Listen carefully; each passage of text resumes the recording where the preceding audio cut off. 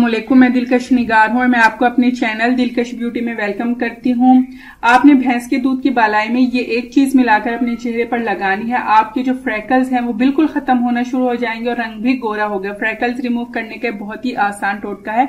आप ले लें भैंस का दूध, उसको पका लें, उसके ऊपर जो बालाई आती है वो आपने लेनी है। ये मैंने एक चम्मच के बराबर भैंस के दूध की बालाई ली है। इसके बाद आप इसमें मिलाएँ लीमू के रस के चंद कतरे।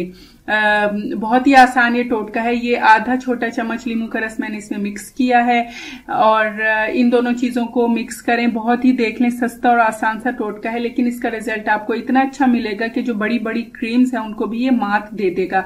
अच्छी तरह मिक्स करें। दो मिनट के लिए इस क्रीम को पड़ी रहने दें ताकि लीमू का रस बालाई में अच्छी तरह मिक्स हो जाए। फिर मसाज करते हुए अपने चेहरे पर लगाएँ।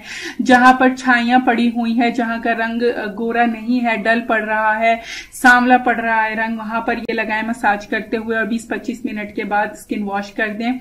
ये देखें, हाथ पर मैंने ये रेमेडी अप्लाई की थी और हाथ पर इंस्टेंट फेयरनेस आई है।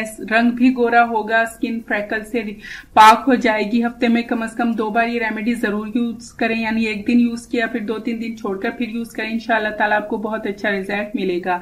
सो अगर आपको मेरी आज की ये वीडियो पसंद आई हो तो इसको लाइक और अपने तमाम फ्रेंड्स के साथ लाजमी शेयर कीजिएगा। नेक्स्ट वीडियो तक के लिए मुझे इजाज़त दें। अल्लाह हाफिज।